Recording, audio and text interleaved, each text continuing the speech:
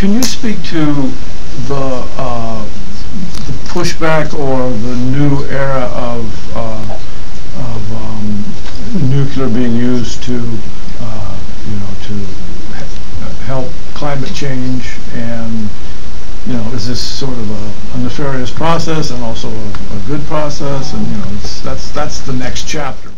What I meant was somebody like Jim Hansen, just saying, is this a new era in which that voice is going to become stronger, do you think?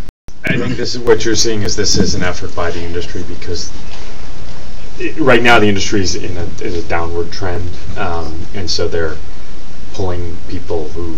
Uh, Jim Hansen is a very knowledgeable person on a lot of subjects. He is not knowledgeable on nuclear power, um, and and it's it's it is unfortunate because he's a person of tremendous stature, but he is very poorly informed on this subject, and um, and it does not appear to be interested in becoming better informed. Um, so uh, I think that's unfortunate. Okay.